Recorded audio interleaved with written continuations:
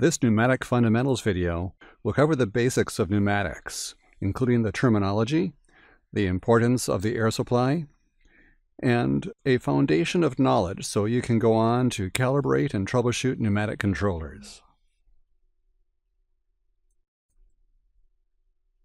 We'll examine the operating characteristics of pneumatic controls that make them ideal for commercial building control applications, both local loop and central equipment control. The source of power for these systems is compressed air, which is networked throughout buildings with quarter-inch polyethylene tubing. The compressed air controls valves, dampers, and relays. Pneumatic devices and installations require very little mechanical experience to install, troubleshoot, and repair, yet they accommodate complex control logic solutions. Pneumatics can control the central equipment and the local loop. In this local loop example, the TP970 thermostat is controlling perimeter fin tube heat. They are also used to control other unitary equipment such as fan coils, VAV boxes, unit ventilators, and rooftop units. For central equipment control, the RP920 family of controllers are used. In this example, the RP920 is controlling flow to a coil in an air handler. They are also used to control small and large air handlers, humidifiers, boilers, chillers, cooling towers, heat exchangers, and supply water distribution. They are available in a number of styles to meet a variety of common HVAC control applications. A pneumatic control system consists of a main supply air station, a reliable air distribution system, and a network of thermostats, relays, and actuators controlling various pieces of HVAC equipment. As mentioned earlier, these thermostats can control a variety of unitary equipment as well as zone air handlers. It all starts with a proper source of supply air to provide the energy to make it all work. A pneumatic control system must have a source of clean, dry, oil-free air at a constant pressure and of adequate volume to operate correctly. This is particularly true of thermostats and other controllers like relays, as their small internal parts and orifices will not handle dirt, oil, or moisture. These devices are often located in cooler environments, which causes any moisture present to condense into liquid water, and the lower pressures of an air distribution system compound the problem. A good air supply begins with a reliable air compressor and tank that is fitted with an automatic water drain. The high pressure air then passes through the dryer and filter station, then travels out and around the building to each of the thermostats. Again, a good source of supply air begins with a reliable compressor. The compressor is ideally a belt drive, oil bath type, because they run cooler, thus produce minimal oil blowby, are durable, have good longevity, and are highly reliable. The tank will provide a large volume of air and will condense a lot of water out of the air. And this is a good thing, as it is the first stage of dehumidification of the air supply. The water that collects in the tank needs to be continually drained to avoid loss of volume in the tank, and more importantly, to prevent moisture carryover into the air supply. A quality auto drain should be employed, or have someone standing by to manually drain the tank throughout the day. The highly compressed tank air has been warmed by the heat of compression and easily reaches 100% relative humidity, causing the moisture to easily condense. Even so, this hot, pressurized air leaving the tank still has too much moisture for pneumatic control systems. We need to remove all moisture because any water will destroy a pneumatic control system. An air dryer, either refrigerant or a desiccant, must be installed and maintained to further remove moisture from the air supply. Because the air temperature in a dryer is dropped below its dew point temperature, the air leaving the dryer is cold and somewhat moist, but that's okay. The air from the dryer enters the pressure reducing valve, or PRV, station, where several things happen. The air is cleaned by a filter, and the tank pressure is reduced to a usable main air pressure by the pressure reducing valve. The reduced pressure and cooler temperature air reduces the relative humidity. It drops further as the air is delivered throughout the warmer ambient temperatures of the building. Now we have very dry air at a safe working pressure. The circled M pictured here is seen multiple times on installation drawings. and represents the air supply station down in the mechanical room. The PRV station noted on our last slide consists of a submicron filter intended to remove any dust and oil from the air supply. This filter has a drain cock on the bottom and needs occasional draining. The filter should also be washed regularly. The pressure reducing valve, PRV, reduces the 100 psi tank pressure down to a safe working pressure of around 18 to 25 psi, depending on the layout of the pneumatic system. Even though most devices need only 16 to 18 psi operating pressure, remember there are great pressure drops from this station out to points of use. So we need to maintain higher pressures to accommodate these expected drops.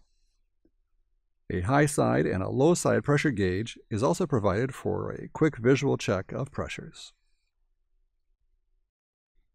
There are also dual pressure PRVs available to accommodate dual pressure thermostats, such as the day-night and the summer-winter line of thermostats.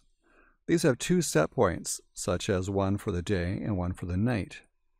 The changeover from a day to night set point is done by switching the main air pressure from a lower to a higher pressure, such as 13 to 18 psi or 16 to 22 psi.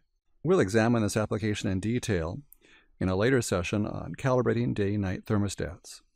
For right now, it is important to know that the air pressure switchover is usually determined by a time clock and a dual pressure PRV, or with two PRVs that switch between one or the other with an electronic air switch wired to a time clock. Pneumatic controllers modulate the amount of heat delivered. They do not turn the heat on and off like a residential thermostat. They modulate because of the way they bleed air to regulate their output pressure, as explained in the next few slides. This is called inherently modulating. In this way, they can easily proportion the amount of heating or cooling required to meet current load conditions. Just the right amount of heating or cooling is released from the mechanical equipment resulting in a balanced building condition.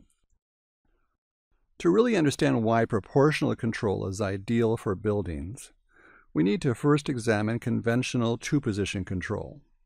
A typical two-position thermostat, like the one here controlling a fin tube or on our home furnace, is either on or off in response to low conditions in the building. In this case, the heat output is either 100% or 0%, when in fact the amount of heat required to balance the building load might only be 40%. Building temperatures will then rise and fall as the equipment cycles. A pneumatic thermostat's ability to modulate the output of mechanical equipment provides a means to proportion the amount of energy released to match the energy loss or gain in the building. In the case of this fin tube, if the heat loss from the building is around 40%, then the amount of heat replacement will be around 40% as well. In this way, we can easily balance load conditions in the building. All pneumatic controllers function this way. How can they do this, you ask? The modulating output pressure of a controller is called the branch line pressure, BLP. This output pressure varies as the sense temperature varies. That is, as the space temperature increases and decreases, so does the branch line output pressure increase or decrease. Notice how the pressure drops as the temperature drops in this heating example. The range of temperature is adjustable on all pneumatic controllers and is called the throttling range. The range of temperature through which the valve or damper is modulated or throttled. The throttling range allows us to proportion energy to meet the load, to add heat to the building at the same rate it is being lost. The heart of a pneumatic controller, a pneumatic thermostat, is a simple but effective device called the nozzle flapper assembly. It provides a way to bleed off supply air to produce a smooth, modulated output control signal. This modulating output signal is referred to as the branch line and provides the control signal to operate valve or damper actuators, as well as other pneumatic relays. Let's take a look at how this device works. The output of a pneumatic controller, the branch line, can operate various types of pneumatic actuators to accommodate the control of HVAC equipment. In a later video, we will examine the construction and operation of pneumatic valve and damper actuators. For now, we will simply state the output BLP, the branch line pressure of thermostats, will be used to control all types of HVAC equipment. And now we'll get back to the discussion at hand, how thermostats work. Here's a simple conceptual view of a bleed type controller. By allowing the air to bleed out of the nozzle gap at a controlled rate, the air pressure will be reduced in the nozzle of the thermostat.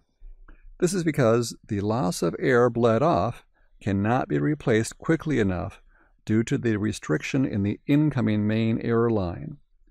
As the temperature varies, the flapper force will vary, and the corresponding pressure is calibrated to vary between 3 and 13 psi.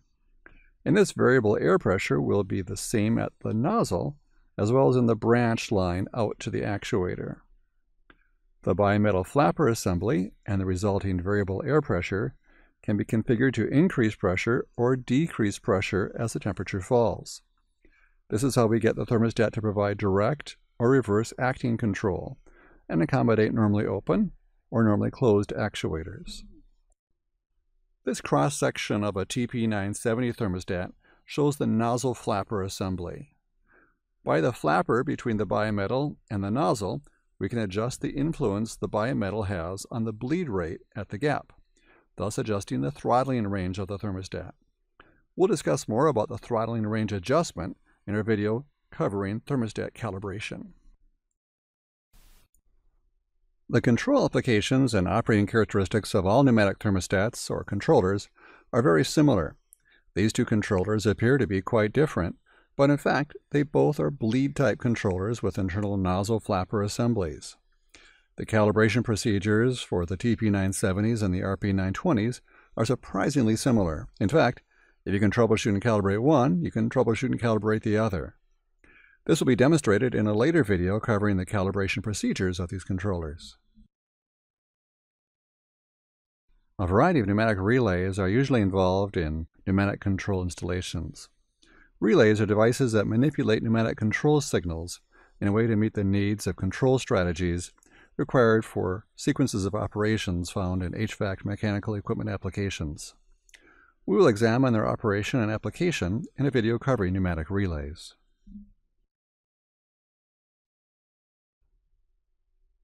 This concludes Honeywell's Pneumatic Control System Fundamentals.